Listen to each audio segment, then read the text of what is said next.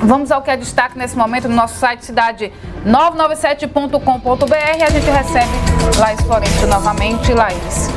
Bom, Renata, a gente também está fazendo uma cobertura bem ampla no nosso site né, sobre as chuvas e eu começo falando sobre o decreto de situação de emergência que foi, de, foi feito e assinado tanto aqui em Caruaru pelo prefeito Rodrigo Pinheiro quanto em Santa Cruz do Capibaribe pelo prefeito Fábio Aragão. Né? Com isso, há a possibilidade de receber recursos, tanto estaduais quanto federais, né, de forma mais rápida para auxiliar aí em limpeza das ruas, é, reconstrução construção de alguma casa, alguma coisa do tipo, é, é, vai ser vai ser possível, por meio desse decreto, fazer solicitação sem a, a, necessidade, por exemplo, de licitação, que é um processo que demora mais. E por falar né, em reconstrução e em tudo que a gente está vendo durante essa manhã de segunda-feira, resultado do fim de semana, né, o, Rodrigo, o prefeito Rodrigo Pinheiro anunciou nesta segunda-feira a construção de uma ponte para substituir a passagem molhada que tem lá nas rendeiras. Pois é. Aquele local ali que liga tanto o bairro das Rendeiras ao José Liberato, a gente sabe que toda vez que chove é um problema e o prefeito anunciou que vai ser feita uma ponte, isso só seria anunciado no próximo mês, mas com a necessidade e a urgência do que aconteceu por lá, é, o processo deve ser adiantado já para esse mês de março, para que o pessoal possa receber essa obra de infraestrutura. De acordo com o prefeito, a ponte deve receber o nome do ex-prefeito de Caruaru, que morreu neste ano, o Anastácio Rodrigues. Esses são um dos destaques. E também sobre chuvas, né? A gente falou aqui no Jornal da Cidade, por exemplo, e hoje no manhã, que durante o fim de semana houve falta de energia em alguns sistemas, né, da rede de reservatórios do Prata, tanto em São Joaquim do Monte quanto em em Agrestina.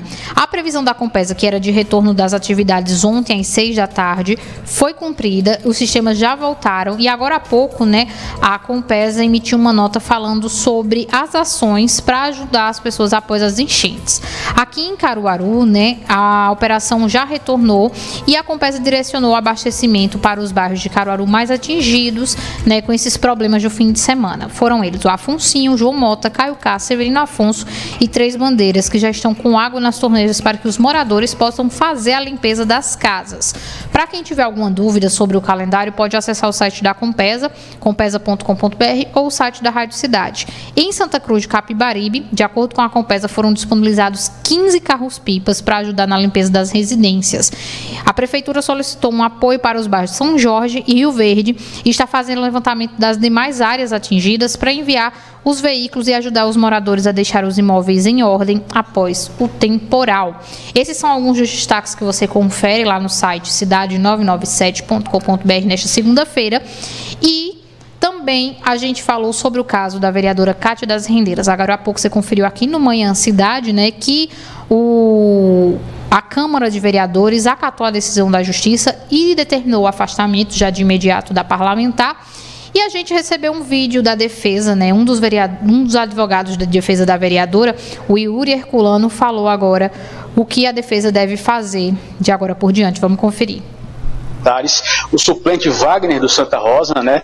Ele toma posse amanhã pela manhã e à tarde já participa da reunião ordinária. A gente vai Bom, o vídeo está com um probleminha aí, nós vamos corrigir e colocar lá no site da Rádio Cidade, você confere em instantes, né, o que disse a defesa de Kátia da Rendeira sobre a decisão de afastamento. Eles informaram, já adiantando, né, que vão recorrer da decisão e que não, vem não viam necessidade disso.